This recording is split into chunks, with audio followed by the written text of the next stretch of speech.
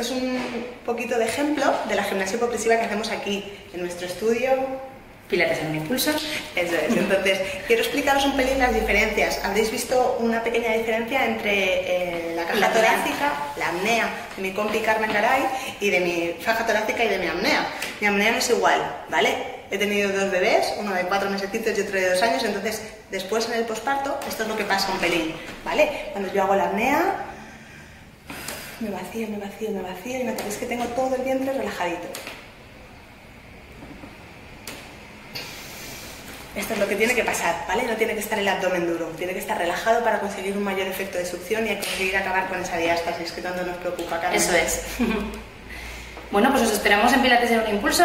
Chicas y chicos, animaros. Eso es, venid con nosotros. Gracias.